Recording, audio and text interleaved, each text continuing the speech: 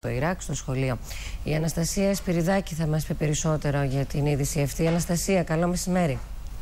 Ναι, καλό σας μεσημέρι. Πρόκειται για ένα πρωτοφανές περιστατικό που συνέβη σε, ε, σε βάρος του μικρού προσφυγόπουλου λίγο πριν το κλείσιμο των σχολείων για τις εορτές του Πάσχα. Ναι.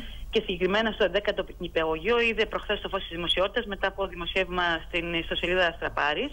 Αφορά καταγγελία προς τη Διεύθυνση Πρωτοβάθμιας Εκπαίδευσης Χίου την οποία κοινοποιεί και ε, στο Δήμο ο Σύλλογος Γονέων και Κυδεμόνων του 10ου Νηπιαγωγείου κατά της εγγραφής ενός παιδιού από το Ιράκ.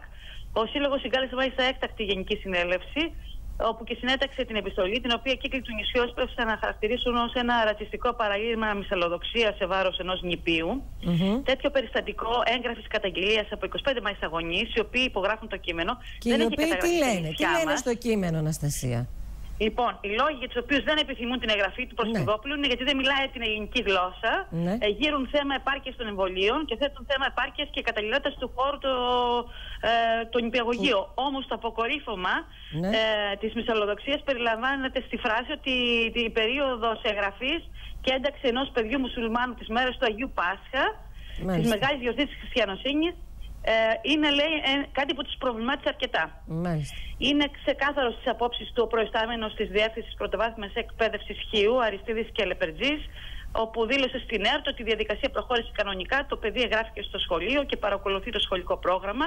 Παράλληλα, ανέφερε ότι 50 νήπια πηγαίνουν στο νηπιαγωγείο που φιλοξενείται στο χώρο της Βιάλ και άλλα 20 φιλοξενούνται σε διάφορα νηπιαγωγεία στο νησί.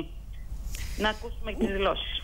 Λοιπόν, θα ακούσουμε τις δηλώσεις του Διευθυντή Πρωτοβάθμιας Εκπαίδευσης Χίου. Να σε ευχαριστήσουμε, Αναστασία.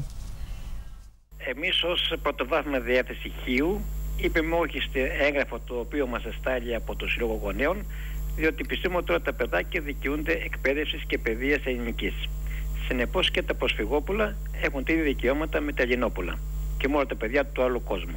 Το παιδί έχει όλα τα απαραίτητα συνοδευτικά έγγραφα και τα εμβόλια τα οποία απαιτούν την εγγραφή του Συν το ότι είναι παιδιά τα οποία και το συγκεκριμένο που μένουν σε διαμερίσματα ή σε ξενοδοχειακές μονάδες.